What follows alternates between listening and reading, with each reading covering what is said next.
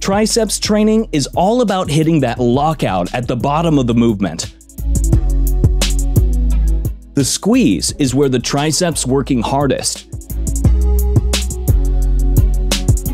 So you're looking for maximum resistance at the point where the arm is straight.